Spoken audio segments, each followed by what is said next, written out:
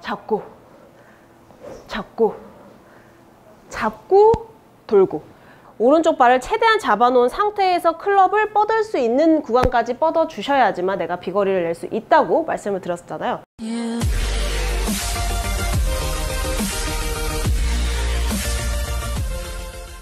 안녕하세요. 호리언TV의 박주영 프로입니다. 이번 시간에는 드라이버 비거리 레슨에 관련해서 제가 준비를 해왔는데요. 구독과 좋아요 부탁드릴게요.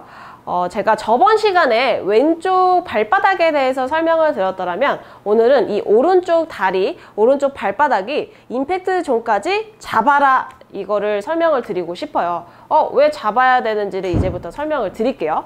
자, 대부분 아마추어 분들께서 힘을 쓰고 비거리를 내려고 하실 때 많이 하는 실수 중에 하나가 여기서 오른쪽 발을 내가 힘을 쓰겠다고 여기서 이렇게 쓰시는 경우들이 굉장히 많아요.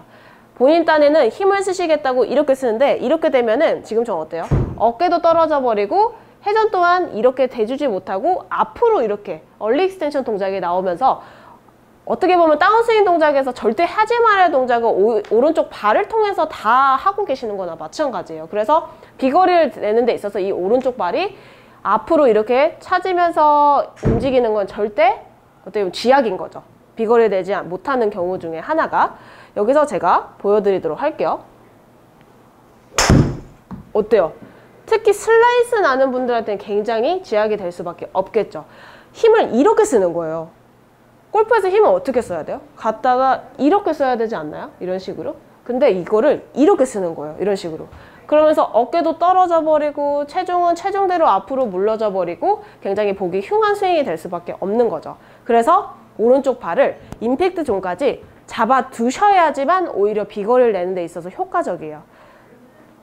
자, 보시면 오른쪽 발을 잡음으로써 해서 이 임, 볼 이후의 이 구간에서 내가 좀 더 멀리 뻗어낼 수 있는 어떻게 보면 구간이 길어진다고 생각을 하시면 되세요. 오른쪽 발을 이렇게 떼버리면은 그냥 볼이 이 클럽 자체가 앞으로밖에 움직일 수가 없거든요. 이런 식으로. 근데 오른쪽 발을 잡아두면 오히려 팔을 쭉 뻗어내고 그 다음에 이렇게 쫓아가셔도 어때요? 굳이 내가 풀스윙을 막 세게 치려고 하지 않아도 쉽게 비거리를 낼 수 있는 거 보이실 수가 있죠. 여기서 다시 자, 아예 떼지 말라는 건 아니고 임팩트까지만 잡아주시면 되세요. 하셨죠? 임팩트까지만 잡아두려고 여기까지 이렇게 뻗어내는 동작 이런 식으로 뿌려주시고 같이 약간 이런 느낌으로 그렇게 여기서 어느 정도는 자 임팩트 이후에서 이 구간에서는 스피드를 내주셔야 돼요 이렇게 임팩 이후에서는 그래야지만 확실하게 거리가 나실 수가 있으세요. 잘못되게 이렇게 쓰려고 하지 말고 뭐 또 뒤로 빠지는 동작, 옆으로 밀리는 동작 다 오른발을 통해서 나오게 될 수밖에 없거든요. 그래서 차라리 비거리 좀더 내시고 싶으신 분들은 오른쪽 발을 그냥 임팩트까지 잡으세요. 잡으세요. 여기서 잡고 뿌리고 이렇게 그죠? 다시 자, 공이 있던 자리에서 잡고, 잡고, 잡고, 돌고. 나중에 돌아도 늦지 않거든요. 여기서 잘못되게 그냥 쓸 바에는, 잘못 떨어질 바에는 차라리 치고 떼시는 게 훨씬 비거리에 효과적이에요. 아, 저기 숨이 차요. 다시. 여기서 뿌려주는 동작 한번 쳐보도록 할게요. 오른발 를 임팩트 존까지 잡아준다는 느낌으로 하고 그 다음에 쫓아가 준다는 느낌 지금처럼 오른발을 이렇게 잡아둔 상태에서 팔을 내가 최대한 뻗을 수 있는 선까지 뻗어 주시면서 스피드를 좀 내주시는 느낌으로 가주신다면 훨씬 더 비거를 내는데 효과적이라는 말씀을 드리고 싶어요. 그래서 제가 오늘 이 오른발을 같이 설명을 하면서 어, 골프 독학으로 하시는 분들 제 이제 제 채널을 구독해 주시는 구독자분들께 연습 기구 한 가지를 소개해 드리고 싶어서 준비를 해왔는데요. 바로 이 루키루키사에서 새로 나온 비거리 플렉스 2 모델이에요. 자, 보시면은 제가 총 세 가지를 이렇게 들고 나왔는데요. 자, 보시면 이렇게 빨간색과 그 다음에 이렇게 파란색 모델, 그 다음에 초록색 이렇게 세 가지의 옵션이 있고요. 이게 다 똑같아 보이지만 각각 좀 차이가 있는 게 있어요. 자, 우선 이 빨간색 모델 같은 경우는 드라이브 전용으로 휘두르기에 좀 맞춰져 있는 클럽이라고 생각을 하시면 될 것 같고요. 그 다음에 이 파란색 같은 경우는 아이언에 맞춰서 이렇게 준비되어 있는 연습 기구이고 그리고 마지막 이거는 대체적으로 두 가지에 비해서 상당히 짧은 길이감을 갖고 있죠. 바로 어프로치 연습을 하는 데 있어 pitch shot, 어프로치 연습을 하는 데 있어서 연습을 할 수 있는 연습 기구입니다. 어, 보시면은 우선 자, 소개를 드리면 이 그립감 자체가 굉장히 보시면은 골프 프라이드 그립에서 이렇게 나온 거를 이렇게 껴서 하시더라고요. 훨씬 이 그립감 자체가 저 같은 거 이런 그립을 너무 원체 좋아해서 이렇게 쫀득쫀득한 느낌이 상당히 들어서 좋더라고요.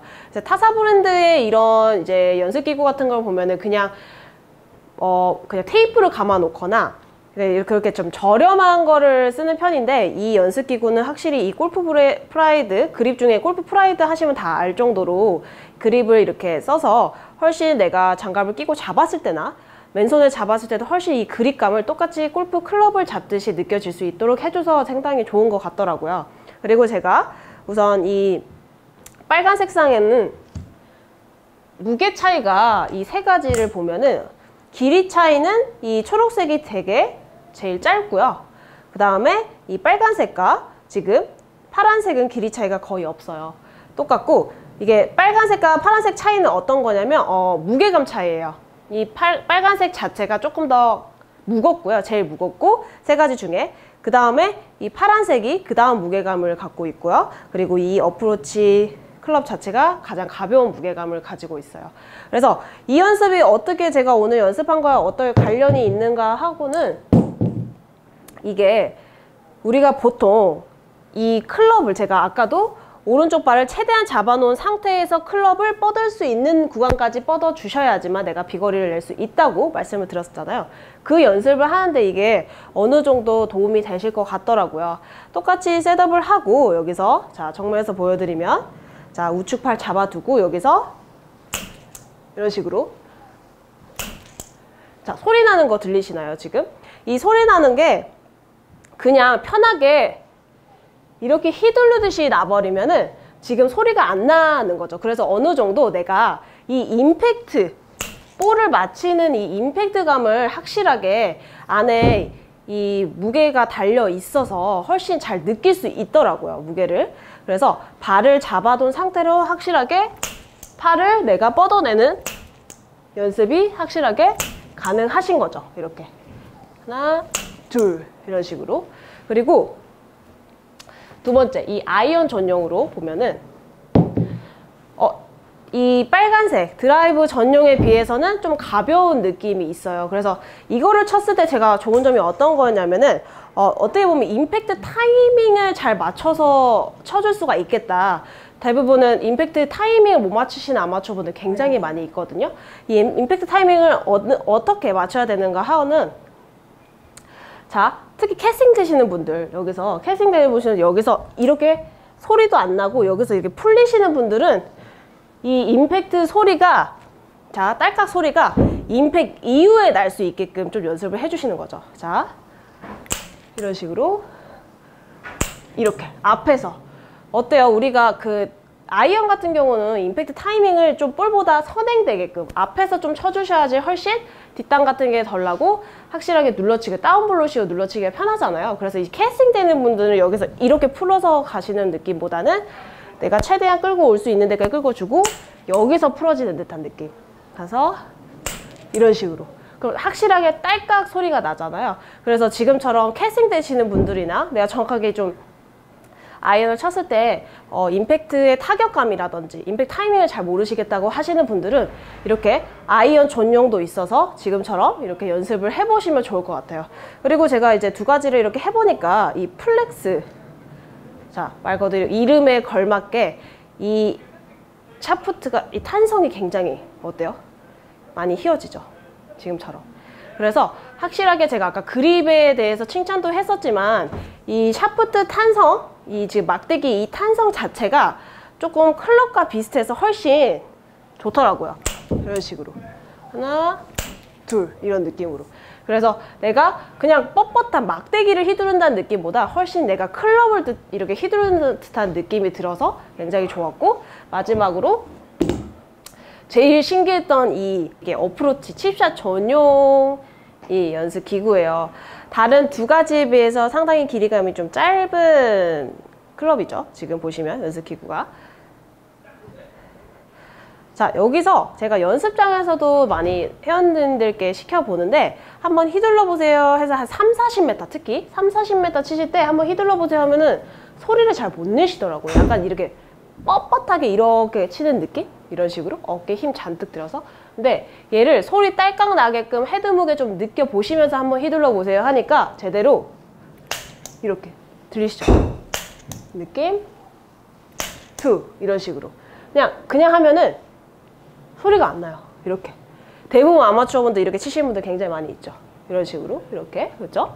여기서 걸, 꺾고 휘두르고 꺾고 휘두르고 이런 느낌으로 좀 훨씬 이 밑에 이제 어느 정도 좀 무거운 이 무게가 좀 달려 있어서 헤드 무게를 느끼는 데 있어서 최적화되지 않았나 하는 생각이 좀 들어요. 그래서 그립부터 그리고 이 탄성, 그쵸? 샤프트의 탄성 그리고 이 헤드 무게까지 최대한 이 내가 원래 이제 클럽을 휘두르는 이 클럽에 맞춰서 어프로치, 아이언, 이제 드라이버 순으로 최대한 그 클럽에 별로 맞춰서 무게감을 설정을 하고 그에 맞게 좀 더 이제 클럽을 휘두르는 듯한 느낌이 들 수 있도록 많이 연구를 했던 이렇게 고심의 결과가 이렇게 나오지 않았나 싶어요. 그래서 특히나 혼자 하시는 독학하시는 분들께서도 제가 이제 연습 저의 연습 영상이나 그리고 레슨 영상을 항상 보면은 제가 항상 헤드 무게를 느끼고 그리고 뿌려주고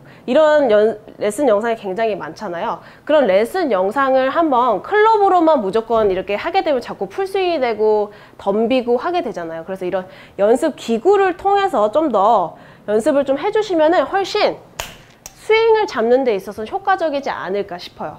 그래서 추가적으로 제가 다시 한번 이 드라이버 드라이버로 맞춰 주시면 이 타이밍을 잡는 데 있어 제가 아까 아이언은 볼보다 좀 앞쪽에서 좀 나게끔 그렇게 휘둘러 주시면 타이, 임팩트 타이밍이 좀 맞아 떨어질 거라고 예, 얘기를 들었었잖아요. 반면에 이 드라이버 이 빨간색 같은 경우는 오히려 임팩트 타이밍을 여기서 잡아주는 거예요. 이쪽에서. 그래서 소리가 오히려 이쪽에서 나게끔. 하나 둘 이런 식으로. 자 여기까지 여기서 내려고 하지 말고 여기서 떨어뜨리고 이런 식으로 가게끔 그래서 아이언은 앞쪽에 소리 나게끔 그리고 빨간색 같은 이 드라이버 연습기구는 우측 쪽에서 우측 쪽에서 좀 더 소리가 나게끔 연습을 하시면 그게 임팩트 타이밍이 좀 올바르게 올바르게 가줄 수 있는 타이밍이라고 생각을 하시면 되세요.